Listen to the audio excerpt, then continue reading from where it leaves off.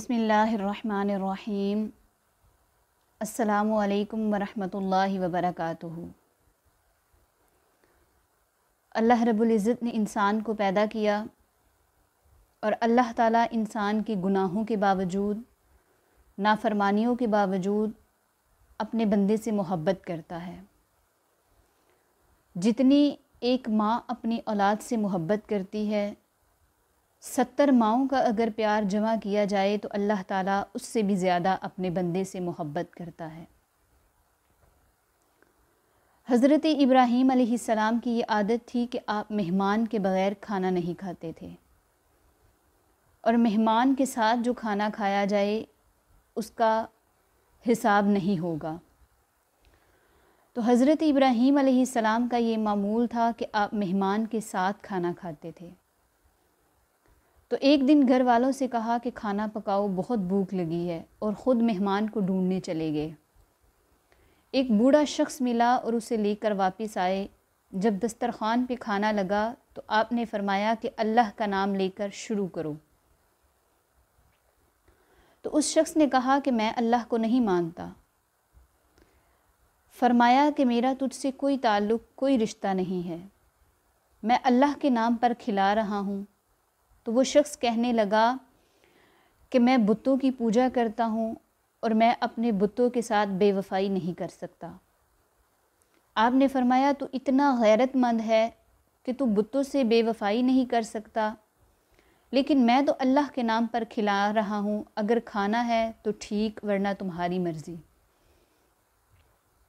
वो शख्स उठा और चला गया।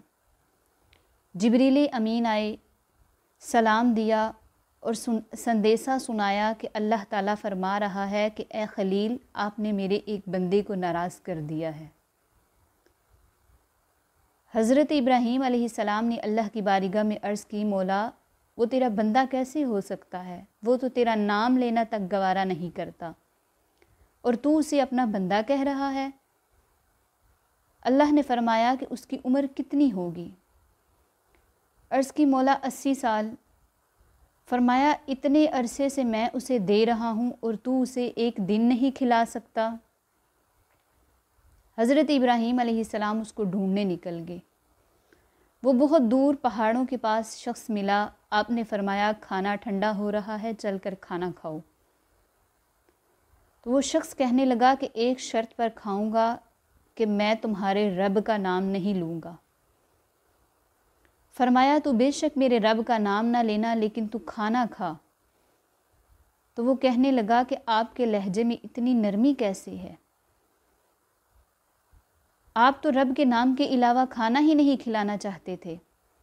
हज़रत इब्राहीम अलैहिस्सलाम ने फरमाया कि उसी रब ने मुझे हुक्म दिया है, उसी रब ने पैगाम भेजा है कि मैं इतना अरसा उसे दे सकता हूँ तो तुम क्यों नहीं खिला सकते?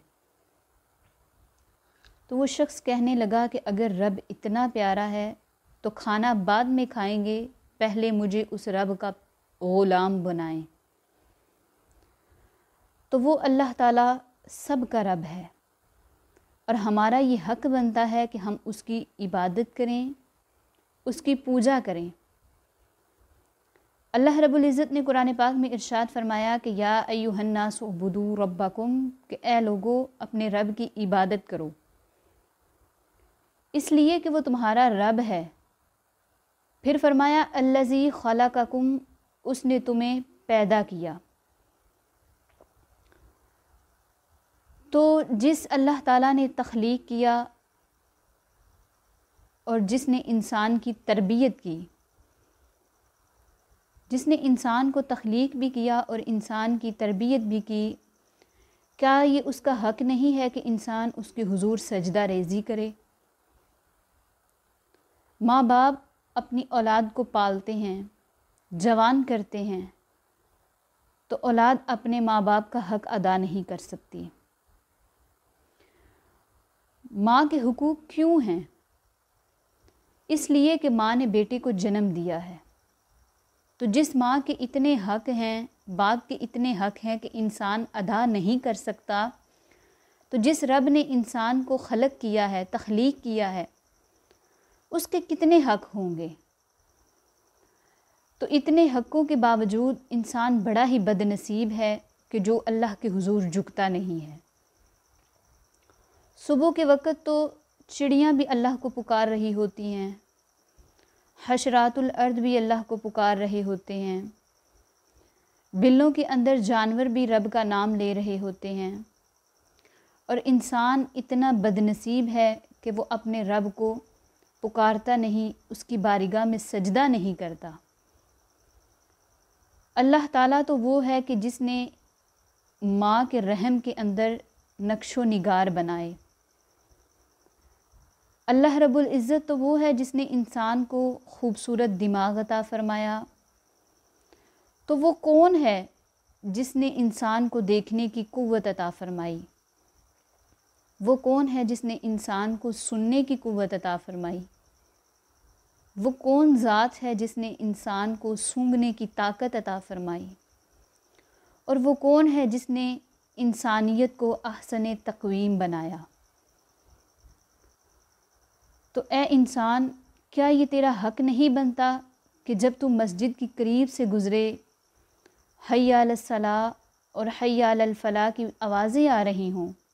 अल्लाह का नुमाइंदा पुकार रहा हो कि आ जाओ नमाज़ की तरफ़। आ जाओ कामयाबी की तरफ़। तो तू मस्जिद के पास से गुज़र जाए तो उस मस्जिद में हाजिर ना हो। अल्लाह के हुजूर तो हाजिर ना हो।